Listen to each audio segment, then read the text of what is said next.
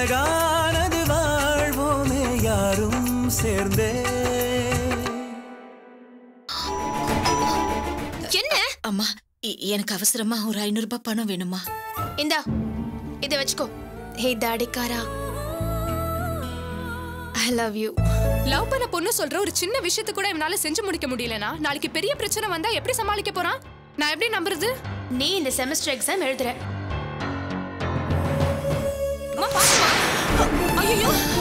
உனக்கு அப்பா பொண்ணு பாக்குறேன்னு சொல்றாரு. உனக்கு சம்மதம் தானே?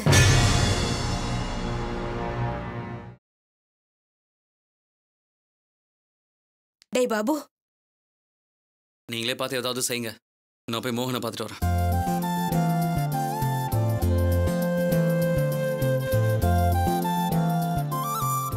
அப்பா இப்பயாவது அவனை நம்புறீங்களா? எனக்கு என்னமோ இன்னும் சந்தேகமா தான் இருக்கு. அப்பா அவன் வாயாலே அவன் சரின்னு சொல்லிட்டான்ப்பா. எங்க? தேங்காய் உடைச்சது மாதிரி சரி எனக்கு கல்யாணம் பண்ணிக்க சம்மதம் அப்படின்னு அவன் சொன்னானா? என்னங்க அதான் நீங்களே பார்த்து செய்யுங்கன்னு சொல்லிட்டான்ல. இதுக்கு மேல புள்ள என்னங்க சொல்லுவான்? அப்பா இதுக்கு மேலேயுமாப்பா அவன் மேல உங்களுக்கு நம்பிக்கை வரல? ஆ நம்புறேன். இப்போது அவனுக்கு புத்தி வந்துச்சே. காதல் கத்திரிக்காய் புடலங்காய் எல்லாம் சரியா வராதுன்னு அன்னைக்கே நான் சொன்னேன். இப்போ என்னாச்சு பார்த்தேல்ல? அப்போ சொல்றப்போ வலிச்சுது. ஆனா இப்போ? தெய்வீக காதல் அமர காதல் அப்ப நான் பழி வாங்கியே தீருவேன் அப்படி இப்படின்னு சொல்லிக்கிட்டே தெரிஞ்சான். இப்போ என்னாச்சு? இவ்வளோதான் உனக்கு காதலோட லட்சணம். அன்னைக்கு மட்டும் அந்த காதலை தடுத்து நிறுத்தலைன்னு வையே. இப்போ என்ன ஆயிருக்கும்? அந்த வேலைக்காரி பொண்ணை கல்யாணம் பண்ணிக்கிட்டு வந்திருப்பான். அவள் பத்து வீட்டில் பத்து பாத்திரம் தேய்ச்சி மிச்சம் இருக்கிற சோத்தை கொண்டாந்து இவனுக்கும் போட்டிருப்பா இவனும் தின்னுருப்பான். இதுதான் நடந்திருக்கும். நம்ம சனத்திலேயே பணக்கார இடமா பார்த்து அவனுக்கு பொண்ணு கட்டி வைக்க போகிறேன் அந்த சொத்து பத்துக்களை அவன் அனுபவிக்கும் போதாவது இந்த அப்பனை பத்தி அவன் புரிஞ்சுக்குவான். சரி சரி. வீட்டுக்கு வந்ததும் அவனுக்கு நல்ல விதமா புத்திமதி சொல்லி வைங்க. வெளியில கொஞ்சம் வேலை இருக்கு. போயிட்டு வந்துடுறேன்.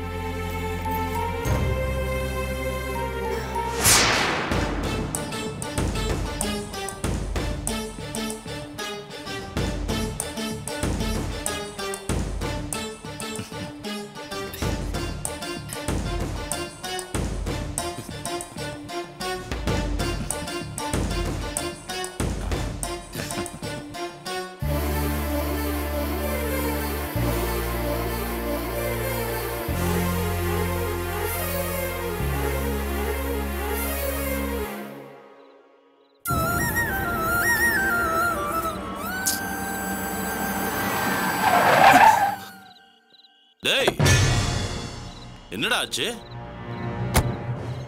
வீட்டை விட்டு கோச்சிட்டு போயிட்டியாமே? என்ன பிரச்சனையா இருந்தாலும் நீ என்கிட்ட தானே வந்திருக்கணும்? எங்க ஒட்டு உறவே வேண்டான்னு போயிட்டியா? இல்ல நாங்கெல்லாம் செத்து போயிட்டு நினைச்சிட்டியா? இல்ல சித்தப்பா அது அது வந்து ஒரு வயசு பையன் இருக்கிற மாதிரியே இருக்கிற நீ? நீ என்ன எப்படி நினைக்கிறே தெரியாது. எனக்கு சஞ்சய் வேறையோ நீ வேறையோ கிடையாது. நீ வா முதல்ல வண்டியில ஏறு. மத்ததெல்லாம் வீட்டுக்கு போய் பேசிக்கலாம் வா. இல்ல சித்தப்பா நான் பாண்டிச்சேரியில இருந்து இன்னைக்கு தான் வந்தேன். நான் வீட்டுக்கே போறேன் சித்தப்பா. இப்ப எதுக்கு வீட்டுக்கு போற? ஒன்னு சொல்லவா? இத்தனை நாளா நீ காணாம போனதுல அண்ணி பதட்டத்துல இருப்பாங்க. திடீர்னு உன்னை பார்த்தா லபாதீபன் கத்துவாங்க. கத்துவாங்களா இல்லையா? அவங்கெல்லாம் பொம்பளைங்க. சட்டுன்னு இதெல்லாம் புரிஞ்சுக்க தெரியாது. ஆம்பளைங்க நாம தான் சில விஷயங்களை நாசுக்கா பண்ணணும். இப்போ நீ வீட்டுக்கு போனா அவங்க கத்துவாங்க. ஏன்டா வீட்டுக்கு திரும்பி வந்தோன்னு உனக்கு மனசு கஷ்டமாயிடும். இப்போ நீ நம்ம வீட்டில் இருந்தா ஓடி போன புள்ள மேல முதல்ல கோவம் வரும். அப்புறம் சரி நம்ம சஞ்சய் கூட தானே இருக்கான் பத்திரமா இருப்பான்னு ஒரு நிம்மதி வரும். கடைசியா எப்படியாவது என் புள்ள வீட்டுக்கு வந்துட்டா போதும்னு தோணும். அப்ப நீ போ. நான் வேண்டான்னு சொல்ல மாட்டேன். யார் வீட்டில் தான் சண்டை இல்லை. உன் சித்தி கூடயும் பாட்டி கூடயும் தினமும் சண்டை தான். ஆனா ஆம்பளைங்க நாம தான் புத்திசாலித்தனமா நடந்துக்கணும். நீ முதல்ல போய் வண்டியில ஏறு. எல்லாத்தையும் அங்க போய் பேசிக்கலாம். இல்ல சித்தப்பா நான் வா ஏன் யோசிக்கிற? ஏறுப்பா வண்டியில. ஏறு. சரி. வா. ம்.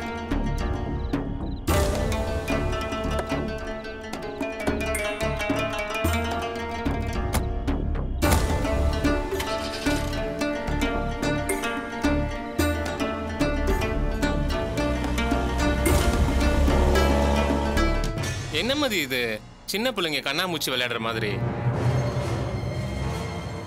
அது சரி. உங்க அண்ணன் பாண்டிச்சேரியில தான் இருக்கான்னு யார் சொன்னா? நீங்க முடிக்கிறத பார்த்தா சொல்லக்கூடாது யாரோ சொன்ன மாதிரில இருக்கு. இல்ல உங்க அம்மா வாங்கிட்டு வந்தாங்களே ஒரு தகடு. நான் முழுங்கின ஏழாயிரத்துக்கு ஏதாவது சொல்றேன். ஈஸ் இன் பாண்டிச்சேரின்னுச்சா? ஐயய்ய என்ன இப்படி முழிக்கிறீங்க? யார் தான் சொன்னா அது ஃப்ரெண்டு யாரோட ஃப்ரெண்டு என்னோட ஃப்ரெண்டு என்னமோ நீங்க எல்லாரும் சேர்ந்து அவனை ஒளிச்சு வச்ச மாதிரியே இருக்கு. அது சரி உங்க வீட்டு பாத்ரூம்ல தண்ணி இருக்கா? இருக்கு. போயிட்டு வந்துடுறேன் இந்த மதி.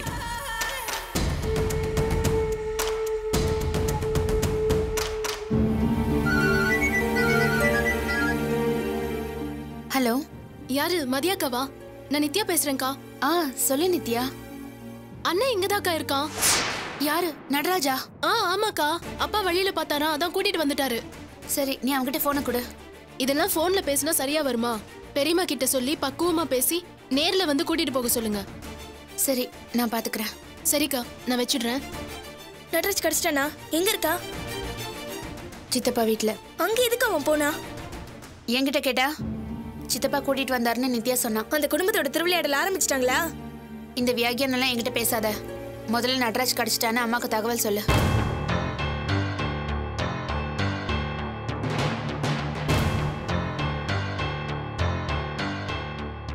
என்னடி ஆச்சு என்ன ஆச்சுன்னு கேக்குறேன்ல. நெட்வொர்க் பிஸின்னு வருது. கொடு.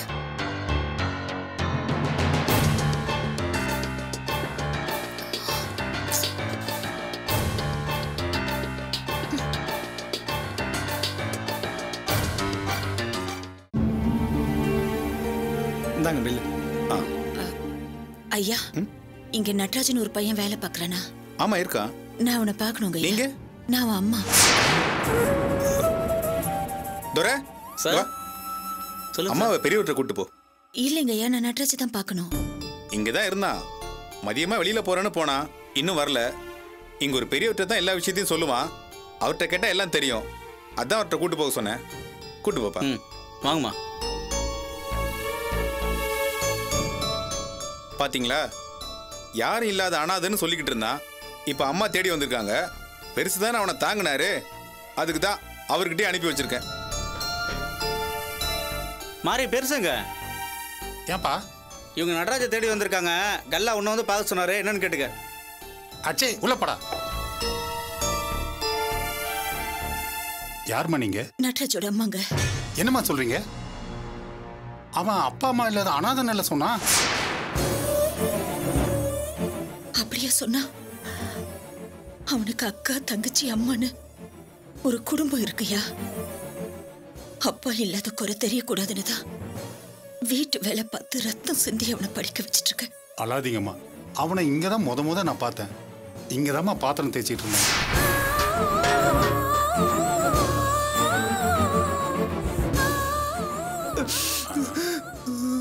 ஏன்டா அழுவுற? கேக்குறேன்ல. புதுசா வேலைக்கு சேர்ந்திருக்கியா? ஆமாண்ணே. எனக்கு அப்பா அம்மா யாரும் இல்லைண்ணே. என்னடா சொல்ற? இந்தா. இதுல 200 ரூபாய் பணம் இருக்கு. முதல்ல முடிய வெட்டு. வேற ஏதாவது வேணுமுன்னா என்ன கேளு. ஒத்த புள்ளையா இருக்கானேன்னு பார்த்து பார்த்து பண்ண. ஒரு குறையும் இல்லாம தான் வளர்த்த இப்ப எனக்கு என்ன சொல்றதுன்னே தெரியல. இதெல்லாம் அவனுக்கு தேவையா ஏன் தான் இப்படி எல்லாம் பண்றானோ? அவனை நினைச்சு செத்து செத்து பொழைச்சிட்டு இருக்க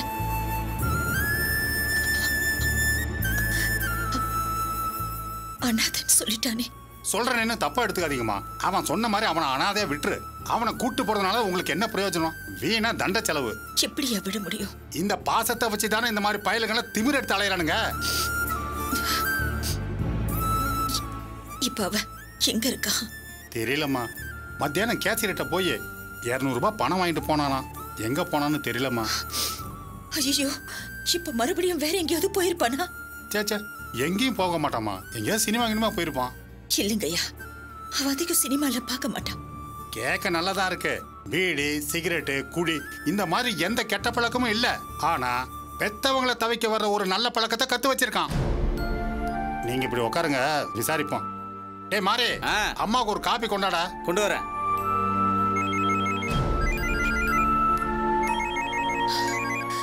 ஆ, சொல்லு குட்டி. அம்மா நடராஜ் சென்னையில தாமா இருக்கா? என்ன சொல்ற? எப்ப வந்தா? அதெல்லாம் எனக்கு தெரியாதுமா நித்யாக்கா இப்பதான் ஃபோன் பண்ணாங்க. சித்தப்பா அவனை வழியில பார்த்து அவங்க வீட்டுக்கு கூட்டிட்டு போயிட்டாரா? அங்க எதுக்கடி போனா? அதெல்லாம் எனக்கு தெரியலம்மா. நீ முதல்ல இங்க வாமா சரி நான் வந்துடுறேன். நல்ல வேளை வந்தானே. நாளைக்கு தானே அவனுக்கு பரீட்சை? ஆ ஆமாமா சரி குட்டி நான் போனை வச்சிடுறேன். ஆ. நான் கும்பிட்டு சாமி என்னை கைவிடல. அவன் சென்னைக்கு வந்துட்டானாங்க. நாளைக்கு அவனுக்கு பரீட்சை. எப்படி எழுத வச்சிடணும்னு போராடினேன். இந்தங்க ஐயா அவனை நல்ல விதமா பாத்துக்கிட்டதுக்கு ரொம்ப நன்றிங்க ஐயா. ம்ஹும். பரவாயில்லம்மா இருக்கட்டும். இல்லைங்க ஐயா தயவு செஞ்சு வாங்கிக்கோங்க. இல்லைன்னா அவன் உங்களை ஏமாத்திட்டானேன்னு என் மனசுல உறுத்திக்கிட்டே இருக்கும். ஏமா அவன் உன்னை தவிக்க விட்டுட்டு இருக்கான் நீ அவனுக்கு கெட்ட பேர் வேணான்னு நினைக்கிறமா வாங்கிக்கோங்க ஐயா அப்ப நான் வரையா? என்னாச்சுமா இங்க வந்து பஸ் விட்டு இறங்கும் போது தடுமாறி கீழே விழுந்துட்டேன். அதான் கால் வலிக்குது. சரி இங்கே இருக்குமா நான் வந்து பஸ் ஏற்றி விட்றேன். அம்மா தப்பா எடுத்துக்காதீங்கம்மா. அவன்கிட்ட ஒன்று மட்டும் சொல்லி வைங்க. மறந்து அவன் இந்த பக்கம் வந்துட வேணாம்னு சொல்லுங்க. நான் அவ்வளோ கோவமா இருக்கேன் அவன் மேல. இருங்கம்மா சட்டை போட்டு வந்துடுறேன்.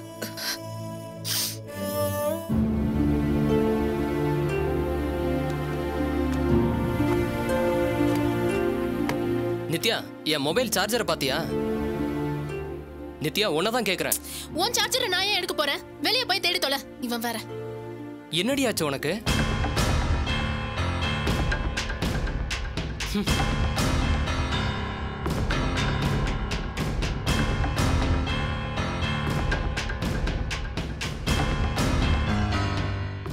துரை நடராஜ் எங்கப்பா? குளிச்சிட்டு இருக்காமா இப்போ வந்துருவான் அம்மா உன் பொண்ணுக்கு என்னாச்சு? எதை கேட்டாலும் எரிஞ்செரிஞ்சு விழுறா? அம்மையார் கோவத்துல இருக்காங்கடா. ஏன் உங்க அப்பா நட்ராஜை பார்த்து கூட்டிட்டு வந்தாருல அந்த விஷயத்த அவ உடனே உங்க பெரியம்மா வீட்டுக்கு ஃபோன் போட்டு சொல்லிட்டா. அதுக்கு நான் சத்தம் போட்டேன். அதான் அவ மூஞ்சி தூக்கி வச்சிட்டு இருக்கா நல்ல வேளை ஃபோன் பண்ண விஷயம் உங்க அப்பாவுக்கு தெரியாது. தெரிஞ்சிருந்தா அவளை கொன்னே போட்டிருப்பாரு. ஓ அதான் மேட்ரா ம்.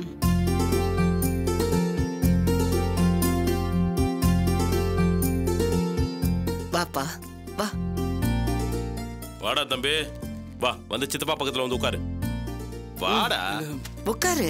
வா வா வா.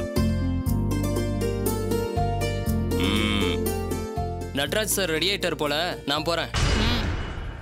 நினைக்க நினைக்க என் மனசு ஆற மாட்டேங்குது. பாவி மக என் பேரனை ஹோட்டல்ல போய் வேலை பார்க்க வச்சிருக்காளே.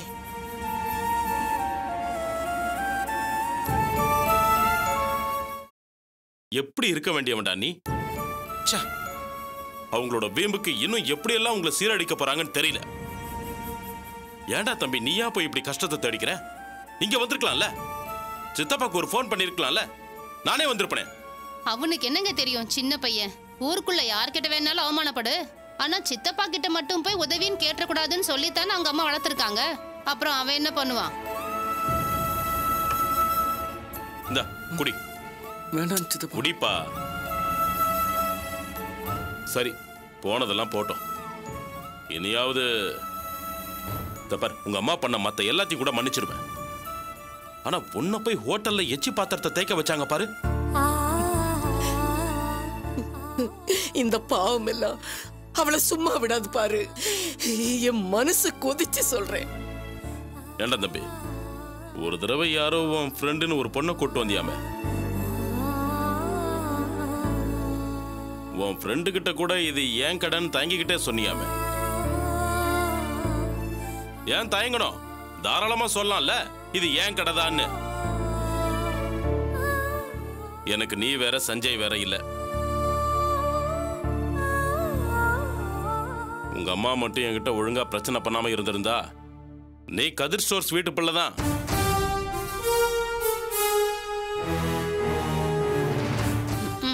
அவங்க வீம்புக்கார ஆட்டத்துல வேலைக்காரி சுந்தரியோட பிள்ளைங்கன்னு பேர் வாங்கி கொடுத்துருக்காங்க.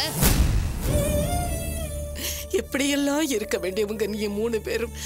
அந்த பாழா புறவ வயிற்றுல பிறந்த பாவத்துக்கு இப்படி சீரழிஞ்சு நிக்கிறீங்களே? ஒரு தீபாவளி பொங்கல்னா உன் சித்தப்பா அவ்வளவு சிறப்பா எல்லாத்தையும் பண்ணுவான். ஆனாலும் நீங்க கூட இல்லைன்னு எப்படி கலங்கி போயிடுவான் தெரியுமா? ஆமாண்டா தம்பி. பாட்டி சொல்றதெல்லாம் நிஜம்தான். எனக்கு அண்ணனுக்கு சின்ன வயசுல தீபாவளி பொங்கல்ல நல்ல ட்ரெஸ் கூட இருக்காது. பாட்டி எங்களை வளர்க்கவே அவ்வளோ சிரமப்பட்டாங்க. அப்பா கஷ்டப்பட்டதுல ஒரு அர்த்தம் இருந்தது. இப்ப தேவையாடா? உங்க அப்பாவுக்கு சின்ன பிள்ளையா இருந்தப்போ சைக்கிள் வாங்கணும்னு அவ்வளோ ஆசை. ஆனா வாங்க முடியல. ஆனா இன்னைக்கு சஞ்சய் எந்த மாடல் மோட்டர் பைக் வந்தாலும் உடனே வாங்குறான். அது எனக்கு பெருமை தானே? அனுபவிக்க வேண்டிய வயசுல எல்லாத்தையும் அனுபவிக்கணும். எனக்கும் அண்ணனுக்கும் தான் அந்த கொடுப்பனை இல்லை. உனக்குமாடா? சரிப்பா கலங்காத. அதான் உன் அண்ணன் மகன் உன் மனசு போல வந்துட்டான்ல. இல்லம்மா நாளைக்கு அவனுக்கு பரீட்சை. படிக்கிற பையன். அவன் தேவைக்கு எதுவுமே பண்ணாம எப்படி சிக்கல்ல மாட்டி விட்டுருக்காங்க பாத்தியா? சரிடா தம்பி போனதெல்லாம் போட்டோம். பரீட்சைக்கு படிக்க முடியலன்னுலாம் ஃபீல் பண்ணாத. அடுத்த வருஷம் பார்த்துக்கலாம் இல்லைன்னா விட்டு தள்ளு. சித்தப்பாவோட இருக்கல்ல உன்னை எப்படி பெரிய ஆளாக்கி காட்டுறேன்னு பாரு. இல்ல சித்தப்பா நான் தரவா படிச்சிருக்கேன். இப்போ கூட எக்ஸாம் எழுதுனா கண்டிப்பா பாஸ் பண்ணிடுவேன் சித்தப்பா. பாத்தியாமா ஒரு வாரமா புஸ்தகத்தையே எடுக்கல. ஆனாலும் எவ்வளோ நம்பிக்கையா பரீட்சை எழுதுனா பாஸ் பண்ணிடுவேன்னு சொல்றான். இவனை எப்படி வச்சிட்டு இருந்திருக்கணும்? கிடைக்குமா இப்படி ஒரு புள்ள? சரிடா தம்பி. நீ சாப்பிட்டு நல்லா ரெஸ்ட் எடு. காலைல இங்கிருந்தே எக்ஸாமுக்கு போலாம். ஆ, சஞ்சய் நடராஜுக்கு அவன் சைஸ் என்னன்னு கேட்டு ஒரு நாலு ட்ரெஸ் எடுத்துட்டு வா. ம். ம் சரிப்பா. இவனுக்கு சீக்கிரமா டிஃபன் கொடுத்து தூங்க வை. ம் நீ நல்லா படிக்கிறங்கிறதுல சித்தாப்பாவுக்கு பெருமை தான். ஆனா இந்த பாலிடெக்னிக் முடிச்சா என்ன பெருசா சம்பளம் கிடைக்க போகுது? ஆனா அதுக்காகலாம் நீ கவலைப்படாத. உன்னை பிசினஸ்ல ஓஹோன்னு கொண்டு வரேன் என்ன? ம்? சரி ஏன் கையில வச்சிருக்க குடி? குடிப்பா.